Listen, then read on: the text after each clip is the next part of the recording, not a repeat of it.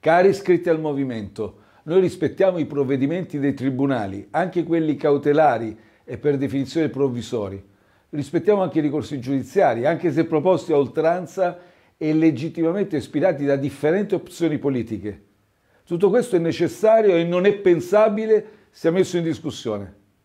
Ma lo diciamo chiaramente, non è possibile che l'azione politica del Movimento 5 Stelle, che ha la maggioranza relativa in Parlamento, sia rallentata, compromessa da cavilli giuridici e carte bollate.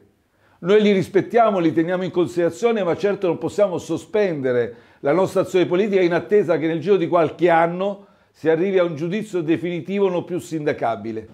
I cittadini ci chiedono di intervenire per aggirare gli aumenti di bollette, di benzina, di approvare il salario minimo, di accelerare la rivoluzione delle rinnovabili, di stimolare gli investimenti in sanità, dove lo ricordo ci sono 20 milioni di esami rinviati, un milione di operazioni saltate per l'emergenza Covid.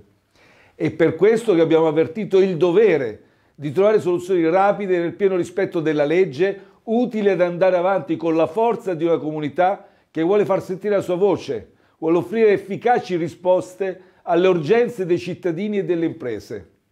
Abbiamo scelto una via limpida, pienamente conforme alla legge, pienamente democratica. Il movimento è una comunità che coinvolge sempre i suoi iscritti e non ha mai paura di votare. Il movimento si sottopone, quindi ancora una volta, a un grande bagno di partecipazione democratica. Cari iscritti, voi, noi, rispondiamo a chi vuole rallentare il movimento con mille osservazioni capziose, con la forza del voto democratico.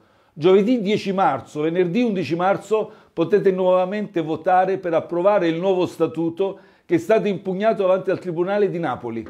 Se lo condividete, se siete orgogliosi di quel meraviglioso manifesto politico che è la Carta dei principi e dei valori inserita all'articolo 2 dello statuto, votate nuovamente per approvarlo con l'effetto di convalidare e confermare la precedente votazione già espressa nell'agosto scorso.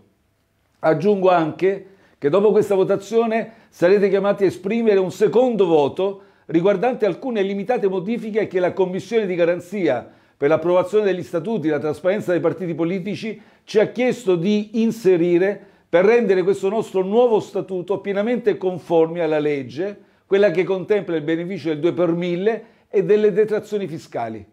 Di fronte alla sospensiva disposta dal Tribunale di Napoli, noi reagiamo, reagiamo subito con la democrazia per dire che il movimento non si ferma e non può fermarsi. Dobbiamo permettere al movimento di battersi per introdurre misure contro i salari da fame, aiuti alle famiglie e alle imprese, di correre e vincere le sfide della legalità, della giustizia sociale, di investire oggi nel futuro dei nostri giovani. Non abbiamo nemmeno un minuto da perdere. Abbiamo tante sfide da vincere e da combattere ancora. Noi ci siamo e tocca a noi e a voi.